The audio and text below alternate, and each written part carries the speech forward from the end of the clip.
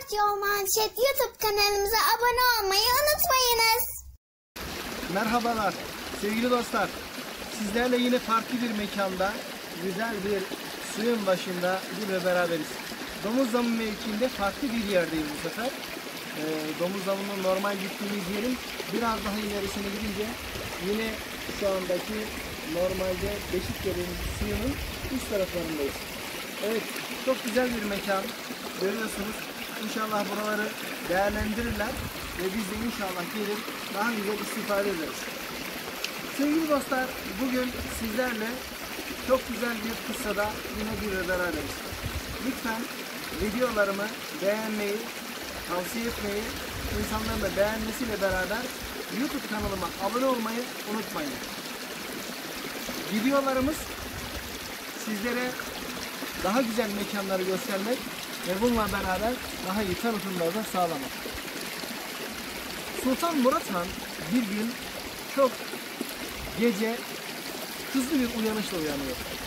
Bir sağ, bir sol, bir sağ, bir sol derken veziri geliyor. Diyor ki sultanım hayırdır inşallah. Diyor ki anlayacağız. Tedbiri kıyafet hazırlanıyorlar, çıkıyorlar.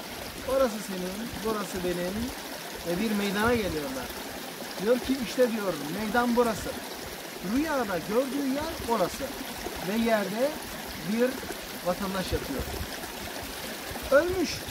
Ölünce eee, diyor ki kimdir bu? Efendim diyor aman diyor. Molla kıyafetine olunca aman diyor buna bulaşmayın efendim diyorlar. Niye hayırdır inşallah? Ya diyor bu adam diyor alemci diyor. Nerede namlı şanlı kadın varsa diyor hepsini alır eve götürür diyor. Öyle mi? Öyle. Biri diyor ki efendim diyor aman diyor bu diyor içer diyor. Her gün akşam içer diyor. Ondan sonra biri de diyor ki efendim aynı zamanda bey namazdır diyor. Öyle deyince Sultan Murat vezirine dönüyor. Diyor ki ne yapalım diyor. Efendim diyor saraydan birkaç tane mulla gönderelim diyor. Cenazenin görüşünü halletsinler. Ama diyor biz diyor rüyanın hikmetini çözemedik ki. Ne yapalım? Diyor ki sen diyor ölsen diyor nereden kaldırılmak istersin? Efendim diyor ben diyor işte e, e, Sultan Ahmet'ten ondan sonra bilemediniz diyor e, Ayasofya'dan ondan sonra diyor ki Fatih öyle deyince biz orada tanırlar mı diyor Fatih'te diyor belki tanımızlar hadi gidelim. Cenazeyi alıyorlar sırtlarına biz diyor tebaamız bırakamayız bunu diyor. Alıyorlar getiriyorlar gasilhaneye bir yıkıyorlar ama Allah'ım adam ak ve pak bembeyaz pamuk gibi. Diyor ki sen diyor eline diyor tesbiha Kur'an-ı Kerim'e başla diyor. Ben geliyorum diyor. Niye? Ben diyor bunun hikmetini çözemedim. Velhasıl bir kelam olayın başladığı yere geliyorlar. Adamı aldığı yere. Diyor ki bu adamın hiç çoluk çocuğu ailesi yok mudur? Diyorlar ki var efendim diyorlar. Aynı zamanda bu adam diyor iyi bir nalın ustası. Nalın derler bu camilerde takunya derler ya. Onların ustasıymış adam. Diyor ki falanca mahallede diyor bir evi var. Öyle mi? Öyle. Giriyor, kapıyı çalıyor. Yaşlı bir teyze, buyurun evladım diyor. Efendim diyor, eşiniz diyor rahmetli oldu. Onu haber vermeye geldi. Vay, vay diyor kadıncağız. Hayırdır efendim diyor, ne oldu? Bizim bey çok garip bir adamdı biliyor musun evladım diyor. Nasıl diyor? Nerede diyor namlı şanlı kadın varsa diyor gider ona der ki senin günlüğün ne kadar? Diyelim ki 500 lira. Al diyor 500 lira. Satın aldın mı gülünü diyor aldım diyor gel. Benim yanıma getirir diyor. Ben ona diyor bir abdest aldırırım, bir gusül abdesti aldırırım. Sabaha kadar namaz, 12 şart, imanın şartları ve namaz kıldırdım ve sabahleyin de diyor kadını gönderdik. Allah Allah diyor. İşe bak. Millet ne biliyor? Adam nasıl bir adam? Ya bizim evlat diyor, bey diyor, evladım diyor. Ne de diyor Müslüman çocuğun elinde şişe görse diyor, şarap şişesi.